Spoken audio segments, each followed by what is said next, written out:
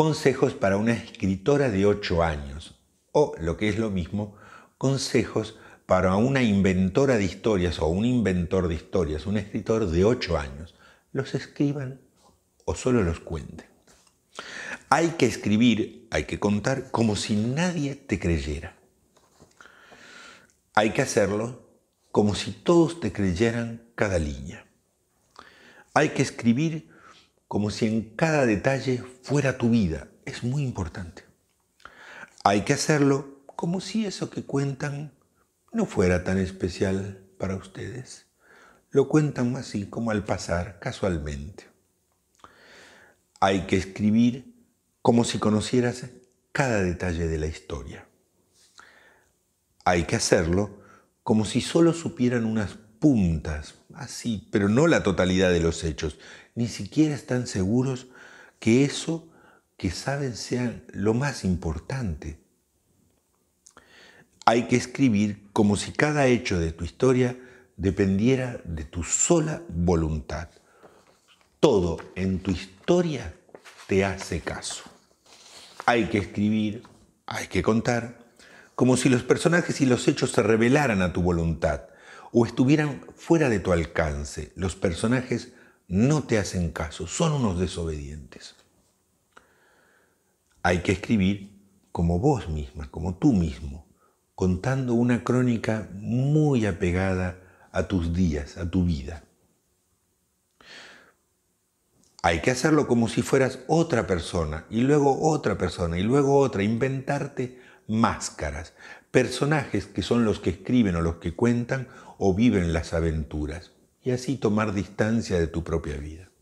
Siempre confíen en el lector, no tanto como para no ser claros, pero sí como para no ser obvios o pedagógicos, que es así como para no sonar como un maestrito, un mal maestrito, que es cuando sentimos que alguien así se pone muy en, uy, nos está tratando como unos nenitos que no entendemos nada.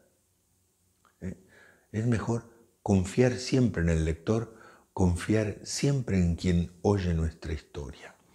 Es una persona inteligente y que ya lleva muchas historias oídas, muchísimas. Quien nos oye lleva más historias oídas o leídas que nosotros historias contadas muchas más.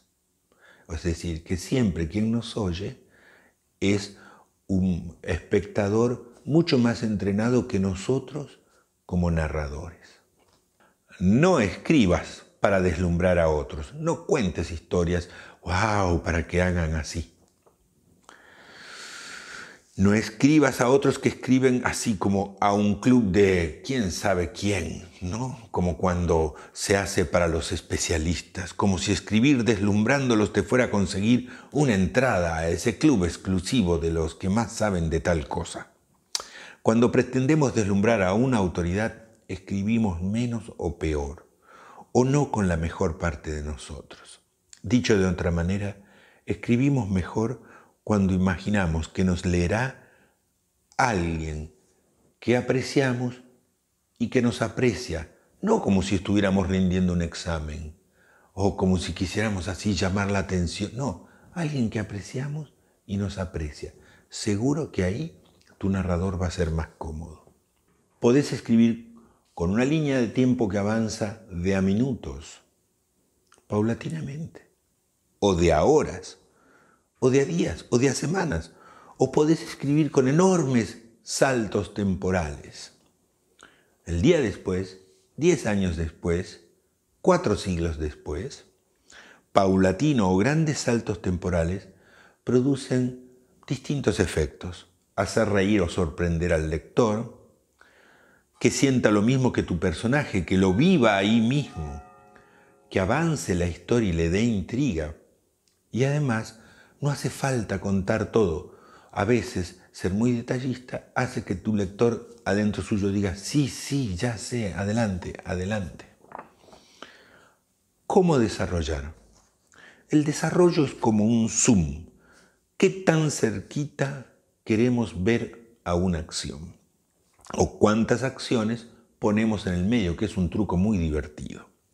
Pensá que vos querías hacerte amiga de alguien Piensen que quieren hacerse amigo de alguien y se, se les ocurrió escribirle una linda carta de papel, como antes, con dibujitos, pero los colores los tiró, los aventó, los perdió tu hermanito menor, debajo de un sillón. Y el sillón es pesado. ¿Cómo podemos mover ese sillón? Mira, empezaste buscando una amiga y llegaste a cómo mover un sillón en dos pasos. Esto porque cada meta tiene un medio para lograrla. Pero si a ese medio no lo tenés, oh no, ese medio pasa a ser tu nueva meta. Otro ejemplo, quiero ir a la India. Y voy a escribir una historia para ir a la India. Pero la quiero desarrollar. Bueno, el medio es el avión. Pero tengo que conseguir un pasaje. Ese pasa a ser entonces el, nuevo tema. Para ir en avión, ahora es la meta. Pero tengo que tener dinero, que era el medio, para conseguir el pasaje, que ahora es la meta. Entonces, ¿qué hago para conseguir dinero? Bueno, voy a conseguir un trabajo. Y, ahora conseguir un trabajo pasó a ser mi nueva meta. Y así vas desarrollando. Pero trabajo no consigo. Ah, pero tengo una amiga que tiene un papá que me puede ayudar. Uy, pero nunca le pedí un favor a esa amiga. Creo que le tendría que volver a saludar a esa amiga. La voy a llamar por teléfono. Y ahora estás llamando por teléfono a una amiga y lo que querías era ir a la India. ¿Ves cómo vas poniendo pasos intermedios?